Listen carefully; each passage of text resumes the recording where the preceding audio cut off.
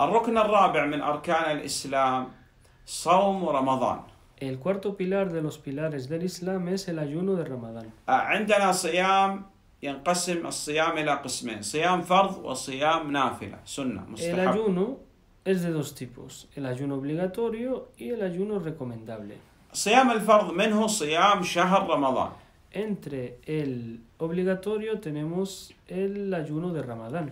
كل مسلم يجب عليه الصيام Todo musulmán está obligado a ayunar Ramadán, عاقل غير مجنون que sea que esté en sus plenas facultades mentales, كبير غير الصغير que haya llegado a la pubertad, قادر على الصيام إذا كان عاجز على الصيام يسقط عنه الصيام que esté capacitado para ayunar y si está incapacitado no está obligado a ello.